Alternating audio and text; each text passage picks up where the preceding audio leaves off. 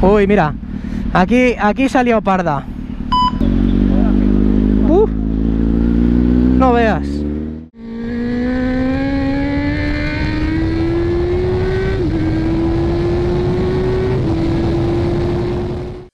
Muy buenas a todos los moteros y moteras que me seguís a través de mi canal de YouTube. Soy Zoceta y os doy la bienvenida a este nuevo vídeo en el cual vamos a aprovechar este día así feo, lluvioso, que está chispeando, con el suelo húmedo, mojado y tal, para resolver una duda que me planteáis cada dos por tres. Y bueno, ¿qué sería esto que me preguntáis? Pues nada, muy sencillo. Cada dos por tres alguien me pregunta, oye Sot, eh, ¿cómo tengo que conducir cuando llueve, cuando el suelo está húmedo o cuando me parece que está algo resbaladizo?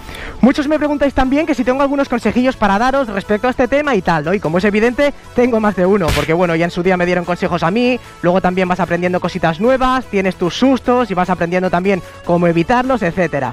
Por lo que bueno, como he comentado, vamos a aprovechar este día así un poquito feo, lluvioso y tal, para ir dando consejillos a modo motoblog y solucionar este tema para que todos aquellos que se estáis iniciando en este mundillo de la motocicleta y que de bien seguro algún día os vais a encontrar con un día así un poco feo, con el suelo húmedo, mojado y tal, pues sepáis cómo superarlo y cómo afrontarlo correctamente sin tener ningún susto y sobre todo sin sufrir ninguna caída.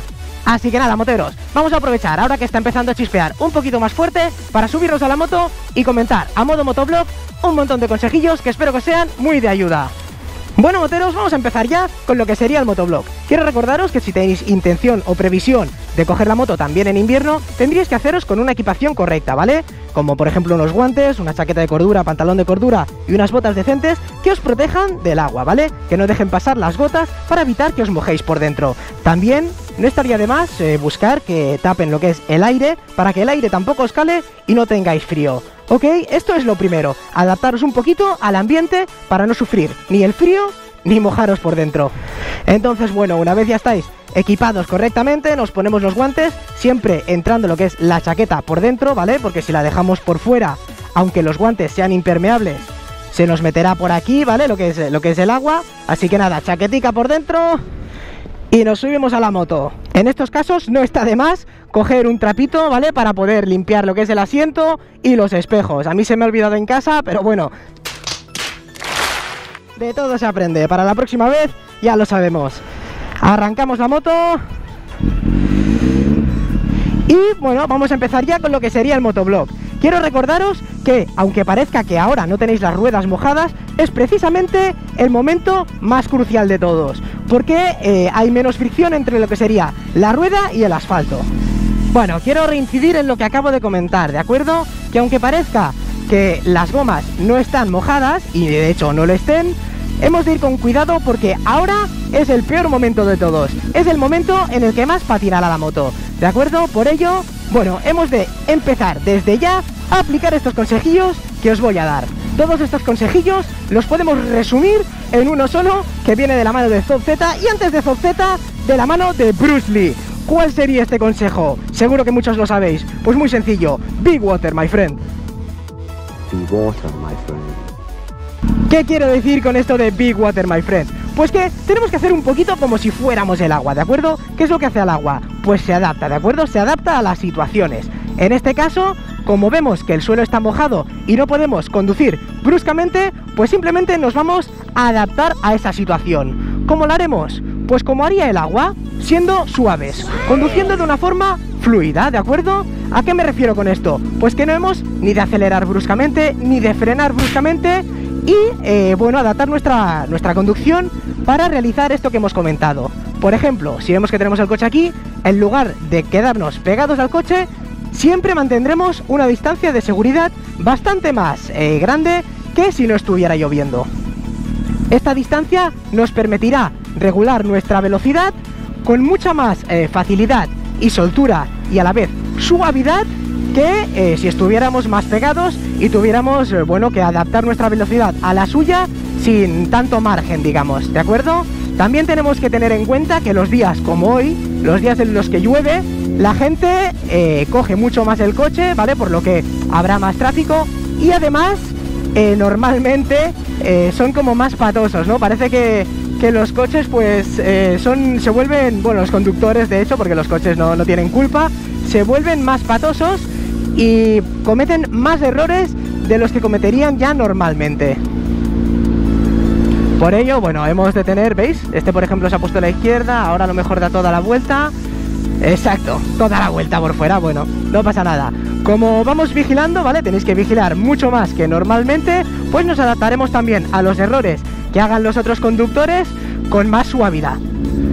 Bueno, moteros, después de solucionar este problemilla con las gotas en la GoPro, vamos a seguir comentando los consejillos, ¿vale? Como hemos dicho, tenemos que eh, aumentar nuestro margen de seguridad y estar atentos a todos los errores que puedan cometer también el resto de conductores para evitar que, bueno, que se nos tiren encima o que tengamos que hacer algún cambio de dirección brusco, alguna frenada brusco, etcétera. ¿Por qué? Porque todo eso podría implicarnos que nos acabemos yendo al suelo, ¿vale? Una vez hemos eh, remarcado este punto, vamos a hablar de la frenada. Las frenadas tienen que ser así, suaves, ¿vale? Utilizando tanto el tren, el freno delantero como el trasero, pero intentando no ser bruscos, ¿vale? Frenaremos al principio en un 10% de lo que frenaríamos habitualmente, luego sobre un 50 o así como mucho, y finalmente también sobre un 10-15% para evitar que al final del todo, ¡pum!, se nos clave la rueda delantera, ¿vale? Que esto suele pasar bastante. Como es evidente, tenéis que intentar frenar con el de atrás, pero tampoco excederos utilizando el freno trasero. ¿Por qué? Pues porque como ya sabréis muchos de vosotros, si tenéis una moto sin ABS, si os excedéis con el freno trasero, ¿qué pasará? Que perderéis el control, ¿de acuerdo? Que os culeará. Esto es algo que, bueno, tenemos que evitar en medida de lo posible, a no ser que, bueno, que estéis haciendo el cabra y tal, un día que lo hagáis expresamente y, bueno, lo estáis haciendo a propósito, ¿no? Aposta. Ahora, por ejemplo, vemos que tenemos esta furgoneta aquí delante, pues nos vamos, ponemos el intermitente y con tiempo, ¿de acuerdo? Siempre con tiempo, giramos, ¿vale? El truco está en eso, en lo que hemos comentado, hacer caso a Bruce Lee, ¿no? Big Water, my friend. Hemos de hacerlo todo con suavidad y finura, ¿de acuerdo? Ahora, por ejemplo, vamos a tomar esta rotonda para el otro lado. Por temas de inclinación, cuando está el suelo así feo, ¿vale? Que está húmedo y tal, hemos de inclinar poquito, ¿vale? Poquito y suavemente. Pues lo mismo, inclinaremos poquito, suavemente y eh, en este momento, además, seremos muy cuidadosos con el gas, ¿de acuerdo? Porque como ya sabréis, cuando hay eh, poco agarre y estamos inclinados, si nos excedemos con el gas, ¿qué pasará? Pues que la moto se nos irá de atrás, se nos, eh, se nos abrirá lo que es la dirección, ¿vale? La rueda se seguirá yendo y si cortamos el gas, pues nada, probablemente se clave si coge adherencia o si no coge la adherencia suficiente, seguirá patinando hasta que nos vayamos al suelo, ¿vale? En cualquier caso, podría producirse un low side si sigue patinando o un high side si engancha de golpe. Por ello, bueno, hemos de tener mucho cuidado con el gas cuando estemos inclinados eh, y el suelo esté así feote. ¿Qué? A ver, ¿cómo está esto? Voy a, voy a volver a, chupar un poquito la cámara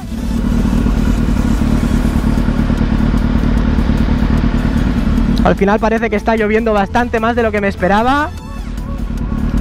Espero que esto no nos joda el plano.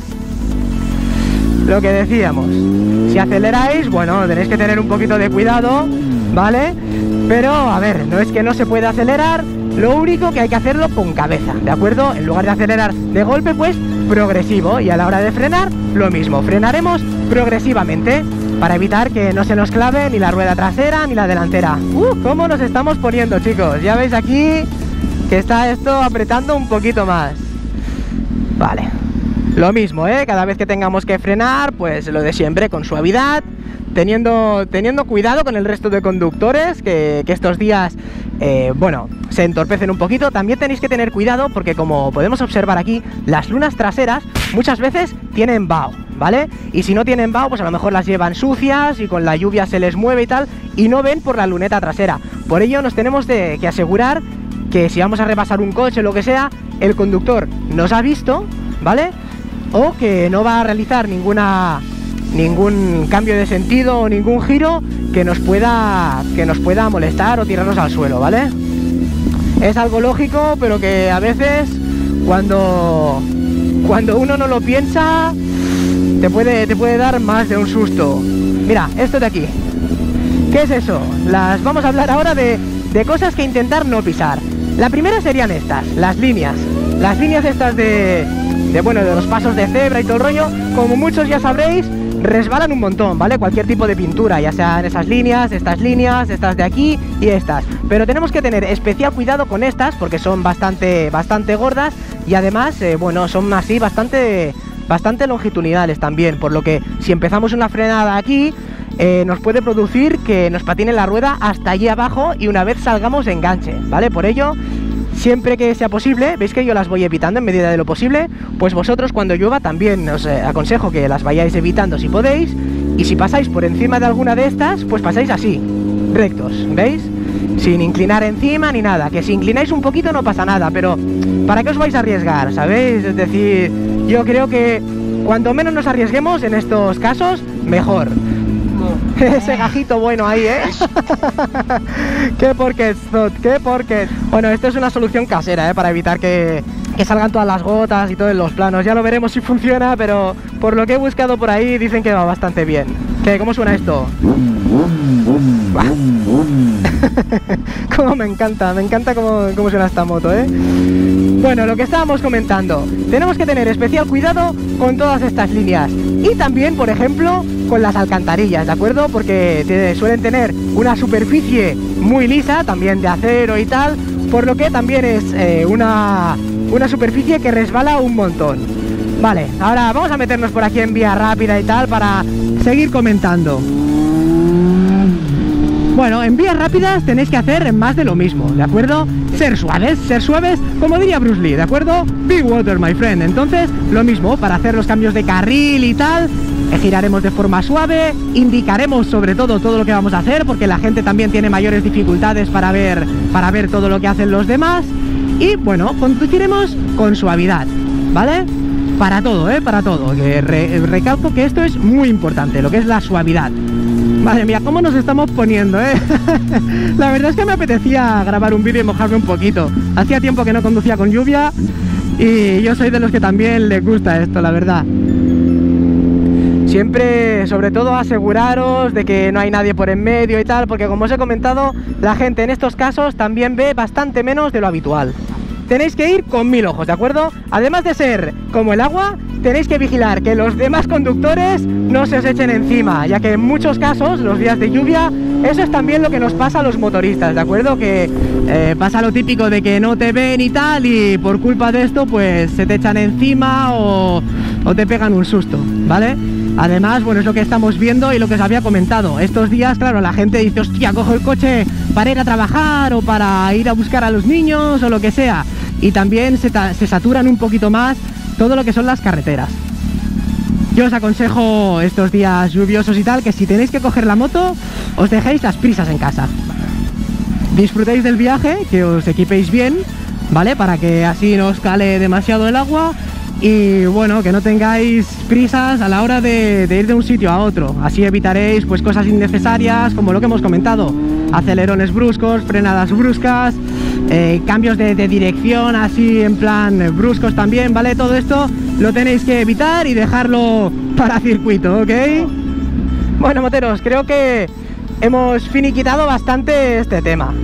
A ver si con suerte se ha grabado bien. Yo he ido intentando limpiar la GoPro, bueno, pasarle un poquito de saliva a la GoPro cada 2x3 para que las gotas no se nos quedaran ahí pegadas, pero bueno, ya lo veremos. Recordar que, bueno, básicamente todo se resume a eso, a conducir suavemente, no acelerar ni frenar muy bruscamente e inclinar lo justo siempre que podamos fuera de, de cosas resbaladizas como son la pintura, las alcantarillas, etcétera, ¿de acuerdo?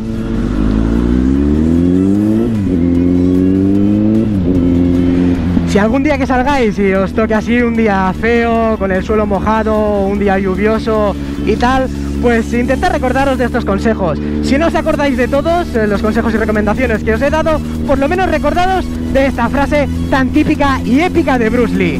Big water, my friend. Big water, my friend. Bueno, moteros, espero que todos estos consejos y recomendaciones os sean de ayuda. Recordad cuando os encontréis con un día así un poco feo, lluvioso, que esté el suelo húmedo y tal, de aplicarlos con tal de no sufrir ningún sustillo y o accidente.